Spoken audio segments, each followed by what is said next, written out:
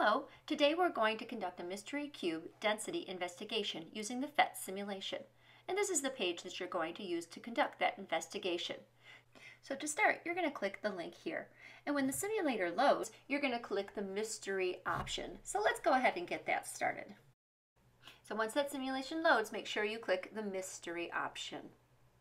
And the first thing you're going to see is a series of colored cubes. And your task with these cubes is to explore each of them to determine what the mystery cubes are made of. To do this, you're going to identify the volume of each cube, then weigh the mass, record whether the item sinks or floats, and then calculate the density. When you're finished with all that, you're going to use that evidence to make a claim. So here's the data chart for your investigation.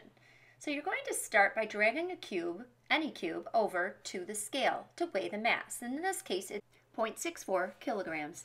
So I'm going to go to my chart, record the cube color, and record the mass as 0.64 kilograms. Then I'm going to go back to the simulation. And this time I need to determine the volume of this cube. So when I completely submerge the cube, I see that the volume of all of the water is 101 liters. And I can determine the volume of the cube by identifying the amount of water it displaced because an item placed in water displaces the same amount of water equal to its volume. So to figure that out, we're going to subtract the lowest number here from the highest number. So you can see in the simulation that the water by itself is 100 liters. And when I add the cube to the water and completely submerge it, it's 101 liters. That means if I take the highest number, 101, and subtract 100 from it, it gives me 1 liter. And that is the volume of the cube in that water.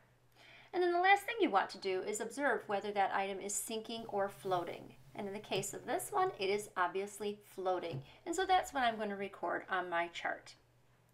Now our last task is to calculate the density of this blue cube. And to do that, we can use the density formula, which is mass divided by volume equals density. And although you can use a calculator, in this case, I can take the mass 0.64 kilograms and divide it by the volume 1 and determine that my density is 0.64 kilograms per liter.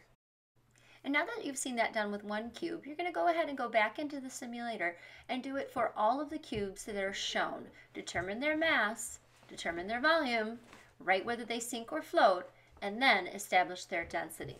Once you've gathered that information, you're ready to move to the final step, and that is to write a claim. So you're going to write a claim about one of the cubes. Your goal is to see if you can figure out what materials the cubes are made out of. So on your notebook page, you have a chart showing materials and density.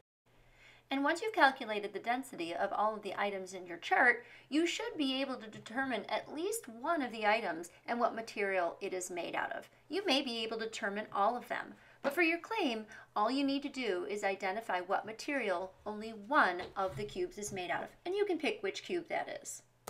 Once you've finished writing your claim, you're done with this page and you're ready to move on. I hope this video helped you with your mystery cube investigation. Good luck!